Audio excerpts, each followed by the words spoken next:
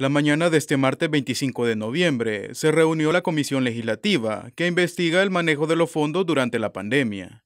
Allí, el diputado Rodolfo Parker, miembro de dicha comisión, pidió la certificación de casos que están siendo observados por la Fiscalía General de la República y la Corte de Cuentas.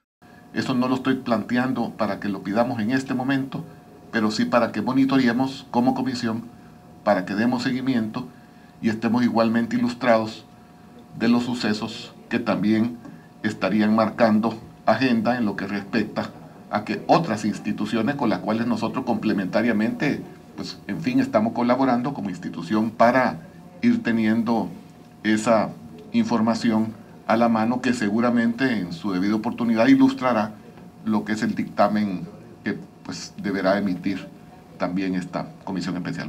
Por su parte, el diputado de Ghana, Guillermo Gallegos, se mostró inconforme por la petición de Parker, que posteriormente fue aprobada en dicha comisión. Si lo quieren pedir, pues háganlo, pero no es procedente. ¿De qué nos va a servir a nosotros?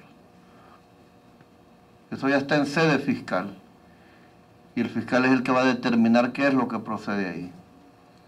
Si lo que quieren es despertar el morbo o hacer de esto un show político, pues lo pueden hacer. Y si la institución a la que se la van a pedir se presta, pues que se los preste, pero no es procedente.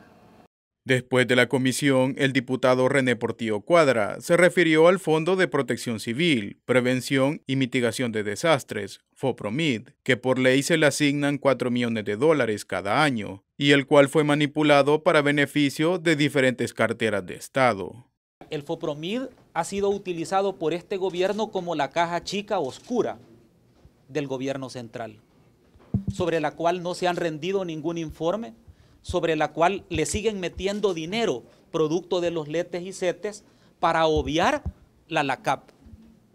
Lo que no pueden obviar es la ley de la Corte de Cuentas porque FOPROMID sí debe de ser auditado por la Corte de Cuentas me da la impresión de que no quieren rendir informes sobre esto para que la Corte de Cuentas no audite el FOPROMID. Hasta el 31 de mayo, la asignación presupuestaria a FOPROMID ya ascendía a 625.7 millones de dólares. La totalidad de ese monto se utilizó para el manejo de la pandemia, según consta en un informe del Ministerio de Hacienda.